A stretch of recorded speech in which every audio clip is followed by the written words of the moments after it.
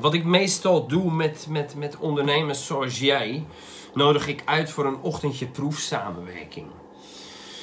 Dat wil zeggen, ehm, ik ben altijd van mening, hey, op het moment dat je een samenwerking daadwerkelijk aan zou gaan en je staat op het punt om bepaalde dingen eh, samen te gaan doen, ehm, hebben wij een online kantoor op Microsoft Teams. Daar werk ik nu mee samen met pak een beetje zo'n rond 80-tal verschillende ondernemers, zoals jij en ik, grote, kleine jongens, nog groter, nog kleiner, doet dus verder ook niet toe.